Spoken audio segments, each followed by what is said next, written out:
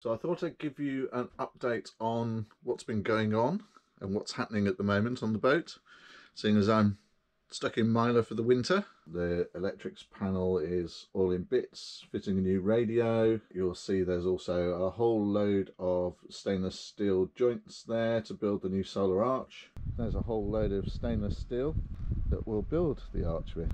I've got to say it looks huge. Fingers crossed it all goes well. First thing to do though is to move things out the way on the push pit. Just by way of an update on Starlink, I've got to say I don't recommend anyone buys it. Uh, they are not ready. Their customer service is appalling. It's been broken now for 14 days and I still haven't had a response from a human being. So, not good. Not good at all. When it's working, it's great. When it's not working, you can forget about getting it fixed because you don't get a response from them disgraceful really.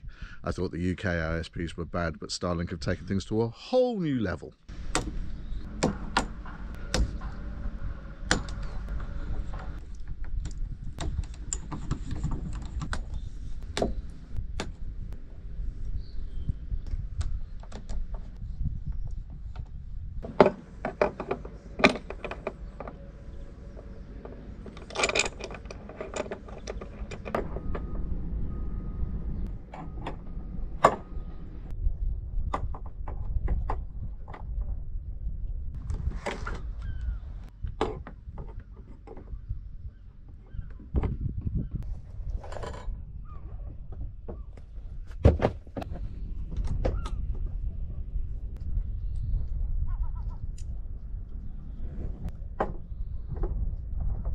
Okay, so that's all the two pieces fitted to hold the frame up. Now to start unpacking the frame.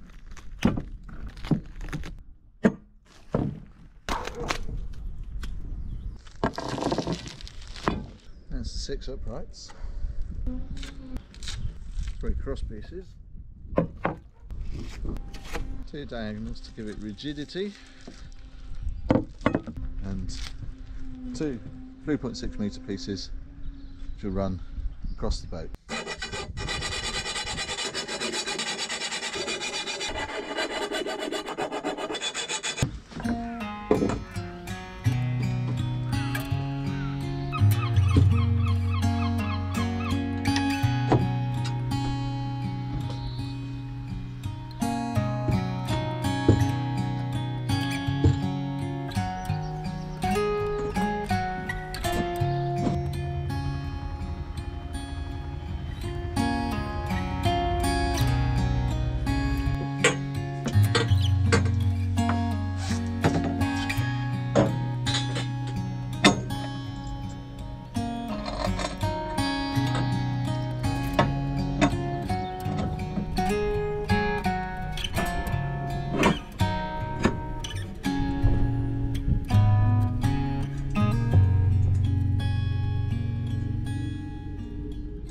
So we have help coming this morning in the form of Frankie from Moondance Sailing to help lift this onto the uprights and get that all bolted on.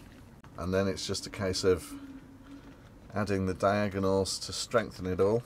Can't wait to get it all put together. My old school chum Johnny is coming as well this morning. So hopefully between the three of us we can get it all sorted. Then it's a case of um, taking all the grub screws out and putting Loctite in and fixing it all permanently. I've got to say the whole idea of building this solar arch myself is down to Frankie. He built his own solar arch on Moondance. It's quite a bit shorter than the arch that I've built.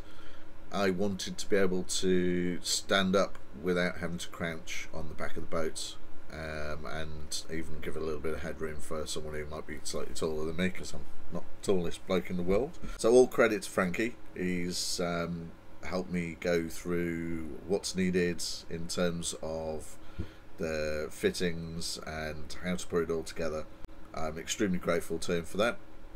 Saved me an absolute fortune. Anyway, back to the build.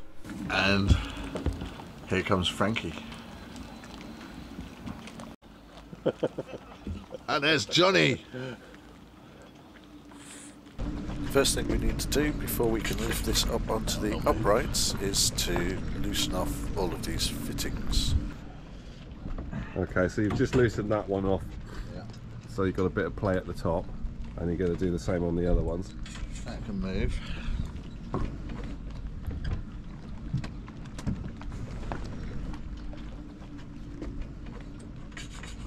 That one will move. Yeah.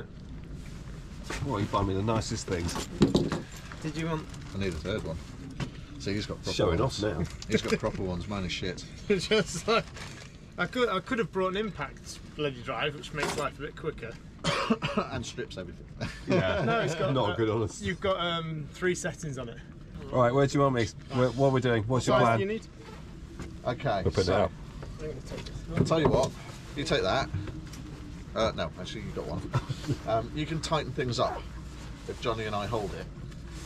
How's that work? You slide it in and I'll hold it. No, Yeah. That's just too close to the line. yeah. I've not brought my snorkel to go and pick We're not at all childish. So what? what You speak for yourself. So is this the, this frame this is the is going to sit on top of these. Oh wow. It's, it's the right way as it is. It is the correct way, so it's just going to go Oh, that's wicked. around these Yeah. and then onto the top.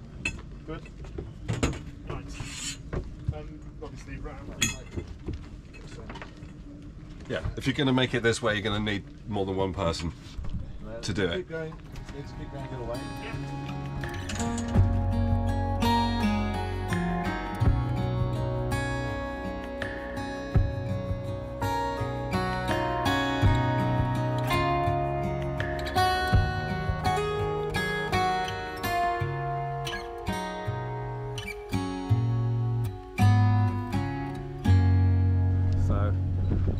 mostly in there now.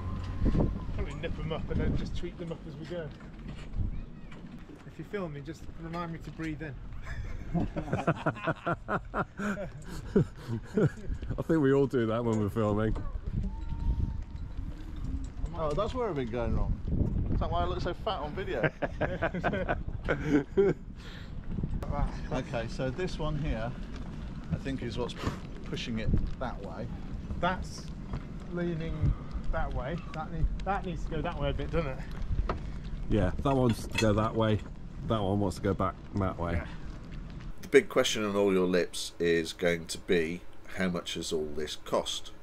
So let me start by pointing out that of the three quotes that I got for having a stainless arch manufactured and installed on the boat, the cheapest was three and a half thousand pounds.